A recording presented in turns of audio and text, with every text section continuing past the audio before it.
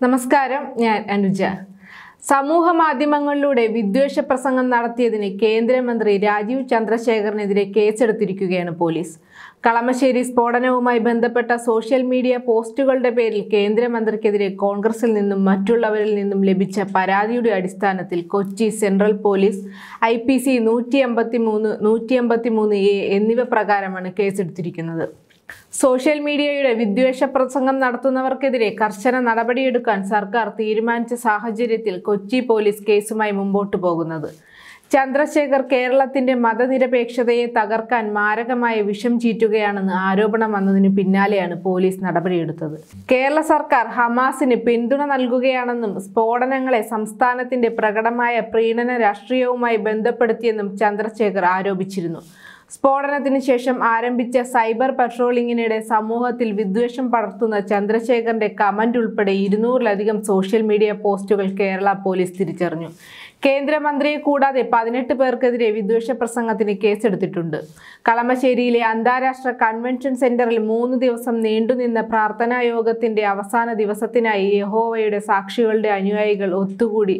സ്ഫോടനത്തിൽ മൂന്ന് പേർ കൊല്ലപ്പെടുകയും അമ്പതിലധികം പേർക്ക് പരിക്കേൽക്കുകയും ചെയ്തു. സംഭവത്തിന് തൊട്ടു പിന്നാലെയാണ് ചന്ദ്രശേഖർ സോഷ്യൽ മീഡിയ പ്ലാറ്റ്ഫോമായ എക്സിൽ സംസ്ഥാന സർക്കാരിനെതിരെ ആഞ്ഞടിക്കുകയും ഭീകര ജിഹാദിന് കേരളത്തിന്റെ പിന്തുണ നിരപരാധികളായ ക്രിസ്ത്യാനികൾക്കെതിരായ ആക്രമണത്തിന് കാരണമായതെന്നും പറഞ്ഞത്. കോൺഗ്രസിന്റെയും സി പി എമ്മിന്റെയും പ്രീണന രാഷ്ട്രീയത്തിന്റെ വില എപ്പോഴും എല്ലാ സമുദായങ്ങളിലെയും നിരപരാധികൾ വഹിക്കും. അതാണ് ചരിത്രം നമ്മെ പഠിപ്പിച്ചത്. ലജ്ജാകരമായ പ്രീണന രാഷ്ട്രീയം.